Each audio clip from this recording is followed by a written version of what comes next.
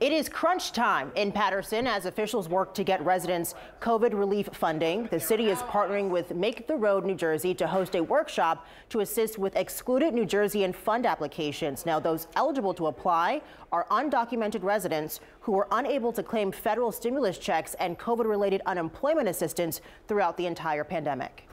The second round of the virus, our entire family got sick. None of us could work. It was so difficult and it continues to be difficult because sometimes there just isn't enough work and, the, and our earnings are not enough.